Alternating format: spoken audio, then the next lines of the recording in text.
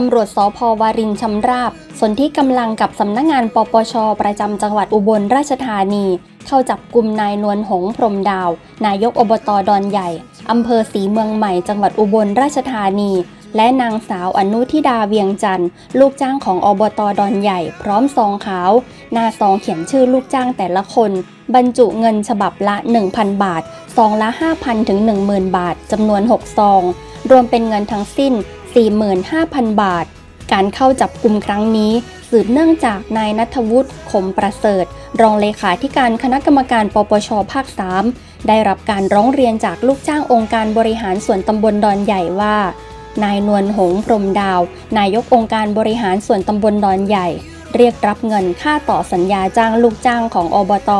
ที่กำลังจะสิ้นสุดสัญญาจ้าง ในวันที่ 30 กันยายน 2566 จำนวน 20 คน โดยเรียกรับเงินค่าต่อสัญญารายละ 5,000 ถึง 10,000 บาท และใช้นางสาวอนุทิดาเวียงจันทร์ ลูกจ้างอบตดอนใหญ่ เป็นผู้ไปติดต่อกับลูกจ้างทั้ง 20 รายว่า จะต้องจ่ายเงินให้เสร็จสิ้น ภายในวันที่ 18 สิงหาคม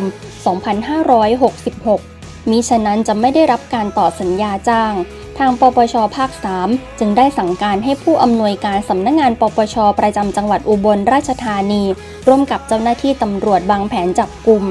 เบื้องต้น นายนวลหงยังให้การปฏิเสธ อ้างว่าถูกกลั่นแกล้งจากกลุ่มพนักงานลูกจ้าง เนื่องจากตนเข้มงวดวินัยการทำงานกับลูกจ้างมากไป